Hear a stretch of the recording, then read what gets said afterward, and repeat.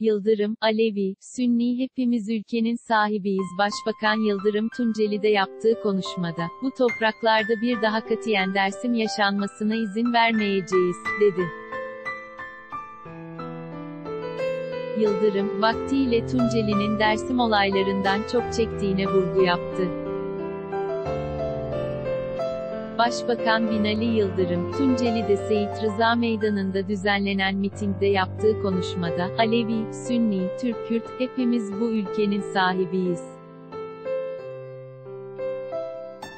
Her vatandaşımızın başımız, gözümüz üzerinde yeri var, ifadelerini kullandı. Bu topraklarda bir daha katiyen Dersim yaşanmasına izin vermeyeceğiz, ifadesini kullanan Yıldırım, bizim için Konya neyse, Yozgat neyse, Sakarya neyse, Erzincan neyse Dersim de aynısıdır, aynı şekilde olacak diye konuştu.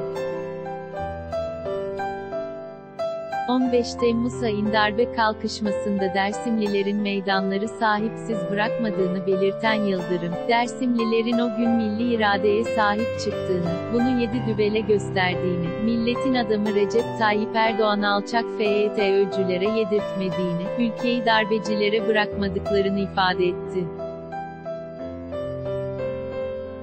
Yıldırım, Alevi, Sünni, Türk, Kürt, hepimiz bu ülkenin sahibiyiz. Her vatandaşımızın başımız, gözümüz üzerinde yeri var, diye konuştu. Dersim olayları Başbakan Yıldırım, vaktiyle Tunceli'nin Dersim olaylarından çok çektiğini, büyüklerin çok büyük bedeller ödediklerini, hala onların acılarını tamir ettirmek, küllendirmek için uğraştıklarını belirtti.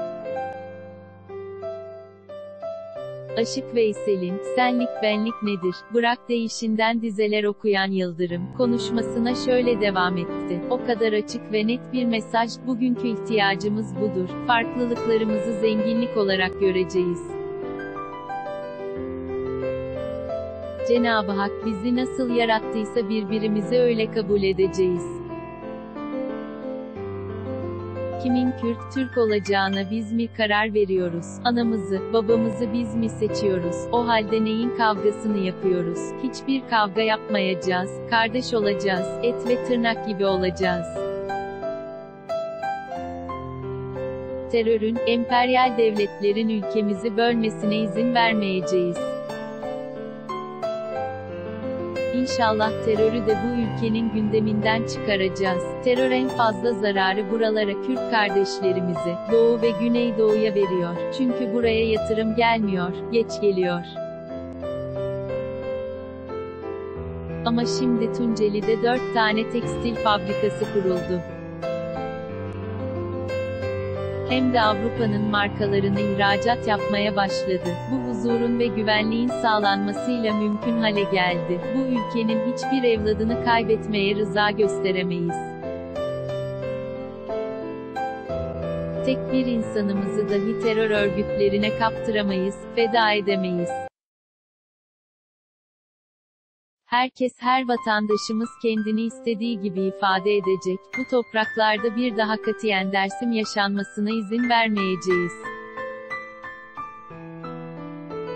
Bu kadar açık söylüyorum. Yıldırım, acıları yaşatanları tarihinde kendilerinin de affetmeyeceklerini vurguladı. Asırlarca birlikte yaşadık Başbakan Yıldırım. Bizim için Konya neyse, Yozgat neyse, Sakarya neyse, Erzincan neyse Dersim de aynısıdır. Aynı şekilde olacak ifadesini kullandı.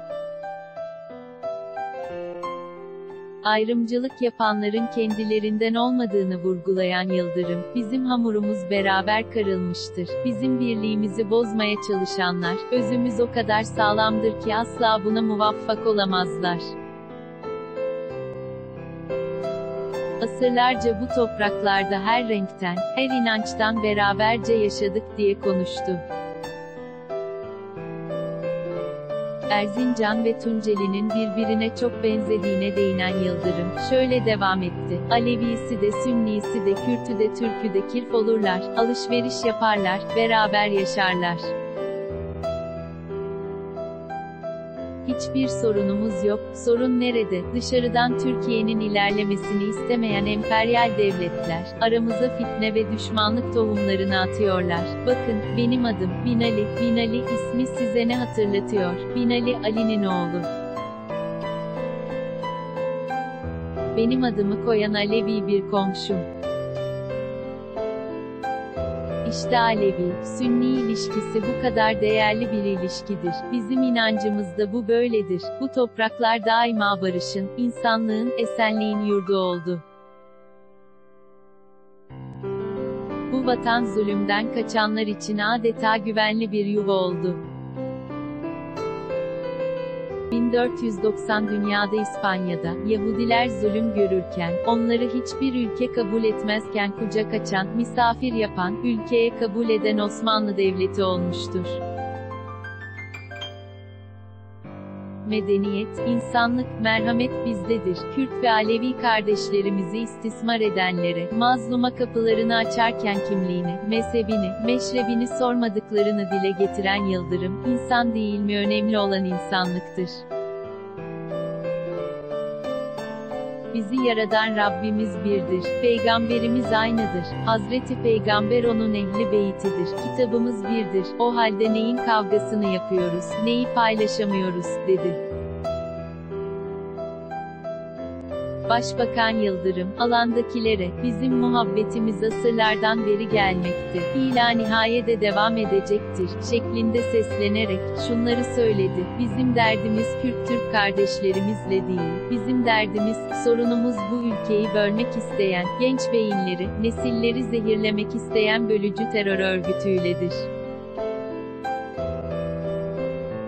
İşte Tunceli'nin dağlarında artık onlara rastlayabiliyor musunuz? Onların hepsini imha ettik ve vatandaşlarımızın canına kastetmesinin önüne geçtik. Kobani olaylarında Kürtlerin kanı üzerinden siyaset yapmaya kalkanlara, Kürt ve Alevi kardeşlerimizi istismar edenlere geçit vermeyeceğiz. Değil mi kardeşlerim, demokratik siyaset kılıfıyla toplumu çatışmaya sürükleyen terör uzantılarını asla aramıza sokmayacağız.